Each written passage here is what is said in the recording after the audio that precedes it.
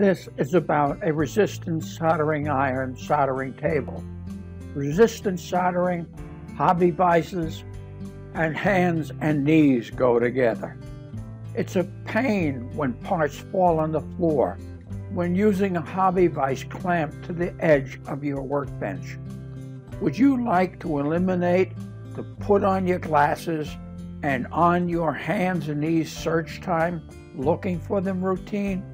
Well, that's what I'm going to talk about in this video. Hi, this is Gary. I made a resistance soldering unit, DIY unit, that you can make for less than 25% of what you would buy one. I also wrote a white paper or a book, ebook, that you can keep on your desk to supplement this video. Download it below. And now let's get on to the meat of the video. This is a resistance soldering table I made. I made it generally because I'm tired of working with a hobby vise and my resistance solderer and having things fall on the floor. So I put my hobby vise in the center of a piece of board. Now the hobby vise is itself grounded.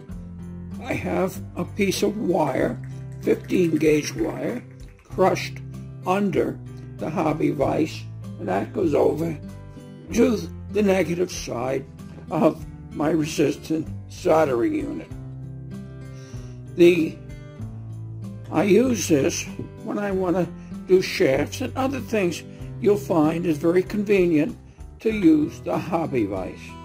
Now the hobby, the table itself is wide enough that I can even put on it a steel plate or aluminum plate and solder.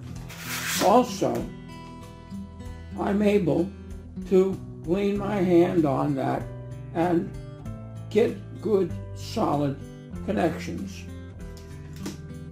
This is clamped to the edge of my workbench, but I can also clamp it on kitchen table or any other place that I want to have my wrist resistance soldering.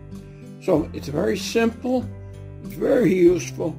I use this devil all the time because like I say, I get tired of having things drop on the floor and when I'm working with very small parts, it, it's a, sometimes a difficult to find. This is a real simple way to solve that problem.